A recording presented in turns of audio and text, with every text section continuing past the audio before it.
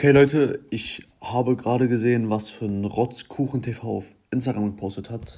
Und zwar, KuchenTV hat auf Instagram ein Bild von sich mit Fortnite Nerf-Waffen gepostet, wo er rüber die Ukraine markiert hat und wo er noch hinkommentiert hat, dass er Mitfahrgelegenheiten in die Ukraine braucht. Meiner Meinung nach geht sowas echt gar nicht. Sowas ist einfach ekelhaft. Vor allem als Mensch, der schon in der Vergangenheit äh, in, in der Kritik stand, weil er sich über tote Menschen lustig gemacht hat, macht er sich jetzt gerade einfach über eine Kriegssituation lustig. Anscheinend hat er vor kurzem noch äh, eine Entschuldigung gepostet, die aber meiner Meinung nach nicht anzunehmen ist. Es gibt so viele Videos von Leuten, die erschossen wurden, die tot auf dem Boden liegen, von Soldaten, dessen Füße gefesselt wurden und QTV macht sich einfach dreist darüber lustig. Ich glaube, ich sollte noch erwähnen, dass er sich nach, erst nachdem er Hate kassiert hat und von vielen Leuten beleidigt wurde, angefangen hat, sich zu entschuldigen und und meiner Meinung nach ist die Entschuldigung inakzeptabel, da der sich schon für viele Sachen in der Vergangenheit,